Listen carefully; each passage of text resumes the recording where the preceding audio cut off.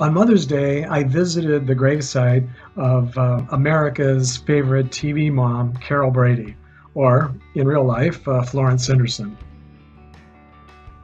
It's been nearly 50 years now since uh, the Brady Bunch uh, first aired on TV, and it's still in reruns, and you can still watch it on TV uh, just about every day. It's just as popular as it was, or maybe more popular than when it was first uh, on the air.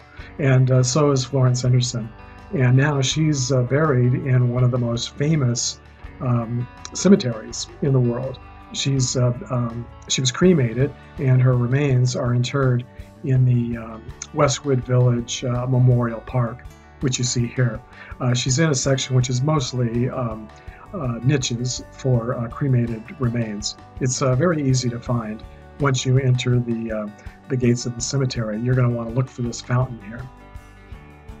After you enter the gates, you go um, straight back and make the first, the second left. There's actually only two streets. You make the second left, which you see here, and uh, then on the right you'll see the uh, chapel, and it's just uh, right uh, beyond the chapel. In fact, you can see the um, uh, it's right behind these hedges here.